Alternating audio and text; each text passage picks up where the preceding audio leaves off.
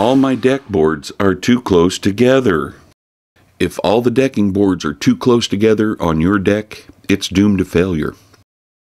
We offer the saw guide for the circular saw, also known as the skill saw.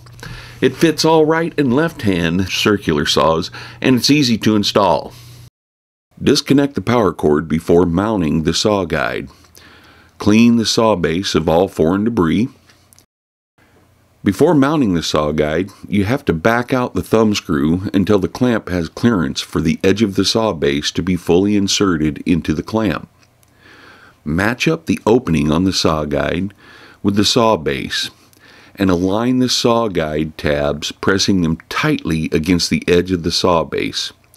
You may have to adjust it slightly forward or back to make sure that it does not rest on a rib or an uneven surface. You want the screw to clamp on a flat area to securely hold the saw guide to the saw base. Tighten down the thumb screw, checking that the saw guide is firmly attached to the saw base, and it's critical that the front and rear side tabs are tightly flush with the side of the saw base and that there's no side to side play. For safe operation, when attaching the saw guide, it's very important to make sure that the back of the saw guide still has clearance so that the blade guard will rotate freely. To align the saw base with the saw guide fins, the blade guard needs to be held back so that the blade is exposed so you can do a proper alignment.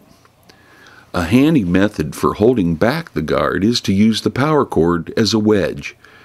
This also makes a handy reminder to release the guard before plugging in the power cord. Place the saw upside down in a stable horizontal position. Superglue bonds to skin on contact, so you may want to use vinyl or latex gloves for application of the adhesive and follow the manufacturer's directions if glue does contact skin. Lift the edge of the saw guide up slightly and apply a dime sized drop of superglue to the base of the saw. Now press down and hold or clamp down the edge of the saw guide until the glue cures.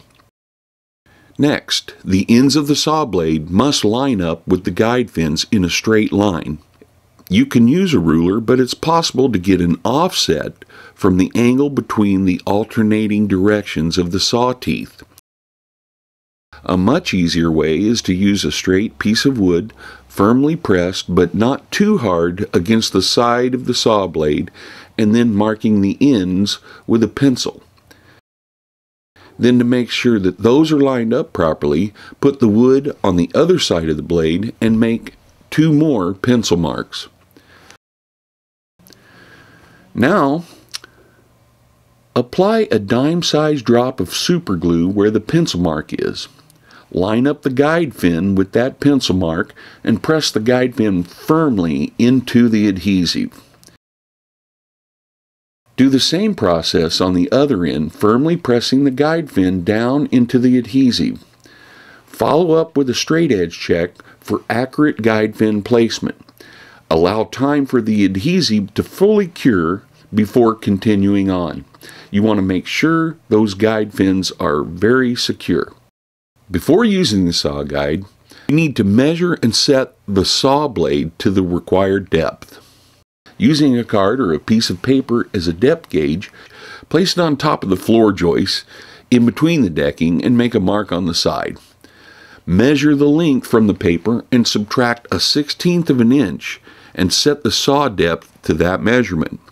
An alternate method is to set the depth by setting the saw down on the end of the decking and raise the blade till the bottom edge of the blade just clears the bottom of the decking. If the blade is set too deep, it'll damage your floor joists. Now release the guard and check that it rotates freely. Always wear your eye and hearing protection before operating the saw. Lower the saw blade in between the decking. Make sure that the front and the back guide fins are also in the groove. Run the saw forward, lightly touching one side, and then check for clearance. If the space is too narrow, make a second pass on the other side. In some cases, you may have to make more passes using this same process. The saw guide makes it easy to straighten the ends of mismatched boards.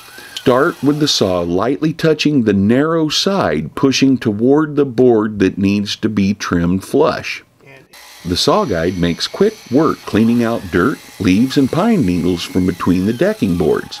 Only takes a light touch along both sides of a space to clean it down to the wood. A note about the types of saw blades to use on your decking project. Large tooth blades are for fast cutting and rough work, whereas small, fine tooth blades are for smooth finishing work. We suggest using the small, finer tooth blades for a smoother finished result. To remove the saw guide from your saw, first loosen the thumb screw a little. Now use a putty knife starting at the edge of the saw guide and push it toward the spot that's glued down. It may take a little bit of force to break that bond. Once the bond is broken, go ahead and remove the saw guide. After the two are separated, you can use the putty knife to remove any adhesive residue.